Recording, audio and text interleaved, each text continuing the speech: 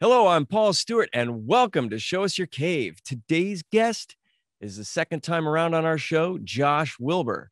He's made some significant changes to his studio. So, without further ado, Josh, welcome to your. You're the first two timer to Show Us Your Cave. Very cool.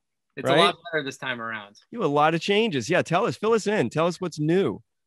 This particular year, just because almost all clients have been remote, I was like, you know what? I can actually tear the place apart a little bit as long as it's still functional the whole time, but it'll look a hot mess for a little bit. you know, I actually have time to finish all the things I've always wanted to do. So I just pick away at it. And it- I mean, it was, you know, treated inside and outside was all treated. And I was like, yeah, one day I'll put a window in it. It's so much easier if we can see each other if we're talking about pronunciation and mouth and you say it like this. And not having a window is like a real deterrent. But the getting the window in the booth was a big project that I really wanted to do. So, and the desk, you've got all your gear now located in one place. Because I remember last time we had racks of different things. So it looks like you've centralized everything. Everything was on rolling racks because you know I do a lot of traveling and working out of other studios, and I would always bring like racks of gear. And actually, just a couple of the studios I started working at pretty much have everything I need, so I don't really have to drag as much around as I used to.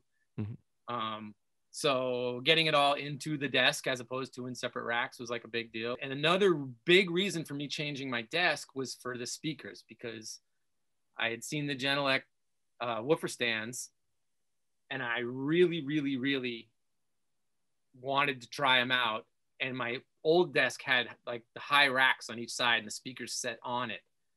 It's not, it's not an option, you know. Oh, I'm So glad like, you brought it up because that was my next question. To you. Yeah, I needed to get the desk lower so I could hear the speakers over it, and uh, you know, and then immediately it's like, all right, let's try these puppies out. Yeah. They're as great as everybody says, and they are.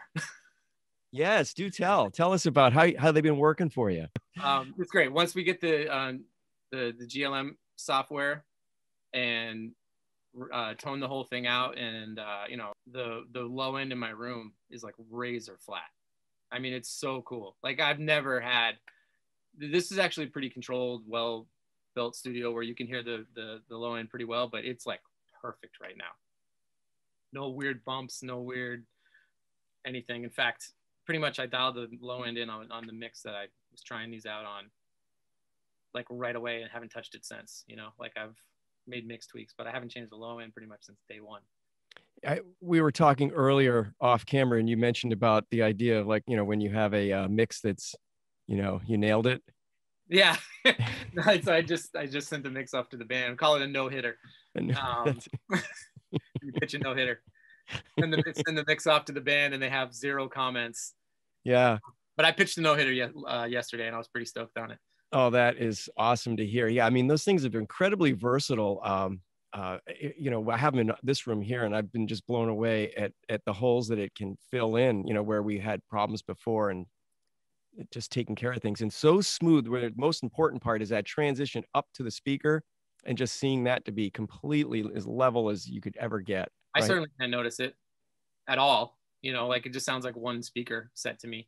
It's it's interesting. I had a another producer buddy um, asked to come in and listen uh, a couple days ago, and uh, we made arrangements to make that possible. And he came in and checked it out, and he said the same thing I did. He's like, "It sounds like a mastering studio in here." And I was like, "It does. It really does." Very cool, man. I tell you, the room looks great, and um, I'm happy to see those uh, those woofer stands in place. It looks, I mean, the whole central command station there. And you know, you were mentioning, um, you know, from before, uh, you've been working in your own environment for how long now? Maybe four years. I might have been in this studio for four years. Um, and I've built more or less the same studio, definitely twice now, like pretty much the same kind of layout footprint. So I knew what things I wanted when I was building the second one. Like this, this, this has pretty high ceilings in here. Oh yeah. And you, uh, I know you turned the lights up bright for us, but you obviously have control of your lighting. I mean, is it even a studio nowadays if it's not got pimped out with the LEDs that cost eight dollars? You know what I mean? Like it's It's crazy how that got to do that the LED. technology's go- Yeah. Hey, I want to ask you one other question because I think, you know, a lot of people have home studios, they're building out like, oh, I can have my my plan or whatever. But when you're working as a professional, at what point in your career did you realize that, hey, I need to be working from my own studio and realizing that it was going to be a thing for you um, that was going to be really important? It's tough to be a commercial recording studio right now. Um, there's massive advantages to working in one. Um, but the reality is, most clientele go to producers and wherever they happen to be working.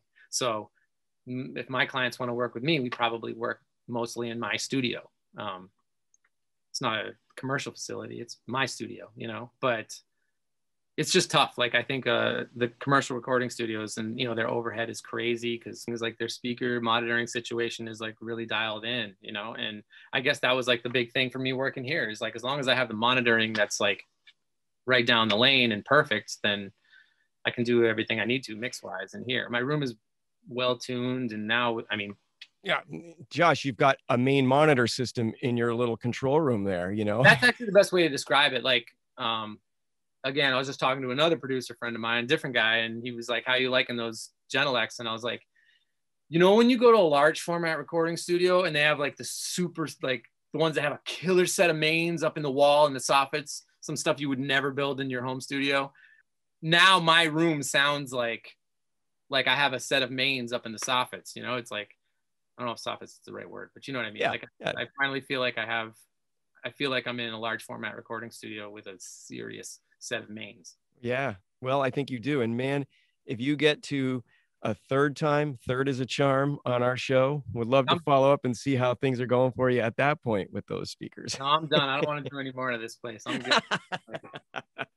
put in the work. Um, uh, well, Josh, I know you've got some work to get to, so we don't want to hold you up. I really appreciate you coming on here and uh, enjoying uh, talking to you again.